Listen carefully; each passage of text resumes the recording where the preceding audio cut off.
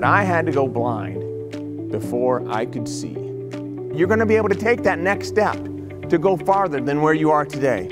I thought that life would return to normal. Well, I have a new normal.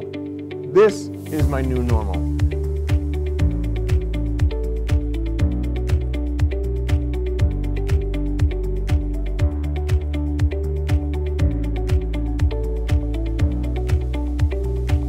We all are blind.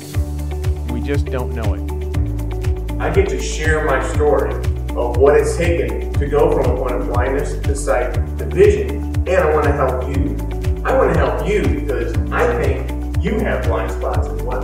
We're talking about mental blindness.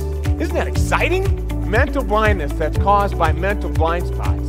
So once you can admit that you're blind, identify your blind spots, and then have a vision, and then share that vision with someone else, that is when magic happens.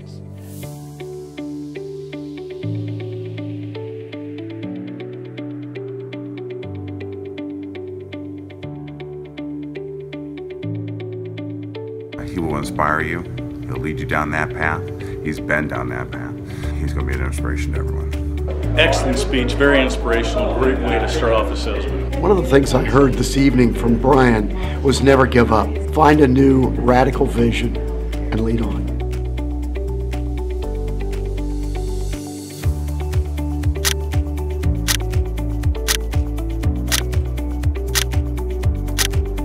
It's okay to laugh.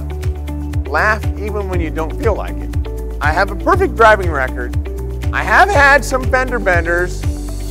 I have these uh, disposable mirrors on my car. Well, they're not. I thought that I was going to have my sight back, only to realize that I don't have my sight back. But my vision is better than it's ever been.